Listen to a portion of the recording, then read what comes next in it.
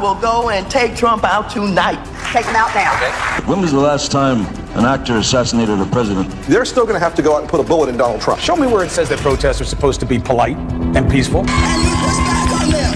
And you tell them they're not welcome anymore, anywhere. I have thought an awful lot about blowing up the White House. Please get up in the face of some Congress people. People will do what they do. I want to tell you, Gorsuch, I want to tell you, Kavanaugh, you have released the whirlwind and you will pay the price. We're going to go in there, we're going to. This is just a warning to you Trumpers.